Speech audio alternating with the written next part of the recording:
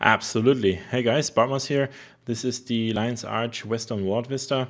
I've seen many, many people uh, try this in the wrong way because everybody assumes you have to go over there, but no, nothing could be further from the truth. The easy way is to just go back here, cross here, and then uh, kind of sort of jump up here, get up here, climb on the roof, get over here, done. And you don't have to go through here anyway. I think there's no way to get to the rear that way. Um, and always enjoy the view.